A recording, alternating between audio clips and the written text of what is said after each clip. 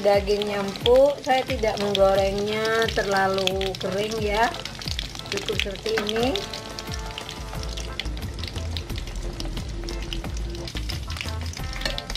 Sudah masak sudah bisa dihidangkan.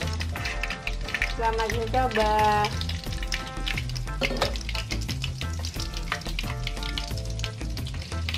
Kita rebus dulu daging sapinya untuk bumbu dagingnya di sini kita pakai bawang putih, jahe, kunyit, ketumbar, kemudian ada jinten, garam, gula dan penyedap rasa. Yuk kita haluskan dulu untuk bumbu-bumbunya.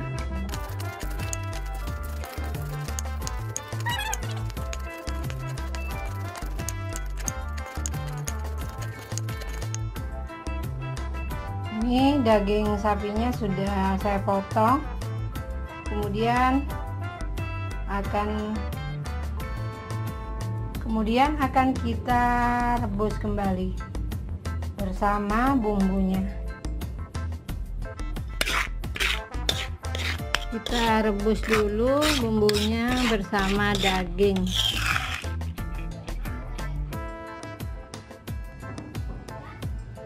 ini air rebusan yang tadi ya. Rebusan daging. Kita masukkan dagingnya yang sudah dipipihkan. Ini tadi sudah dipipihkan. Saya pukul-pukul.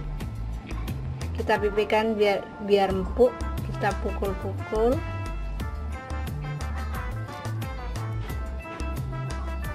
Kita tunggu airnya hingga meresap ya. Hingga benar-benar empuk dagingnya. Airnya sudah mulai berkurang. Nanti dagingnya akan kita goreng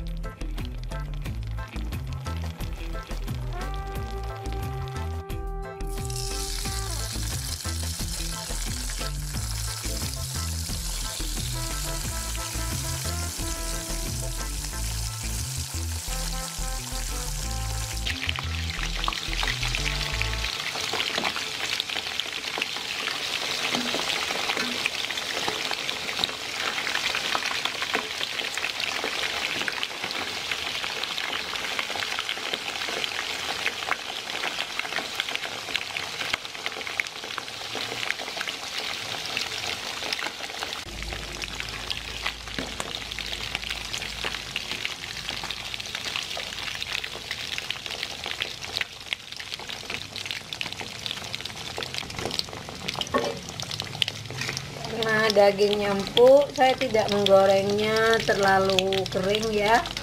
Cukup seperti ini.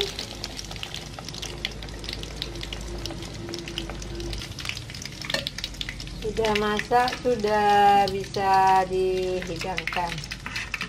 Selamat mencoba.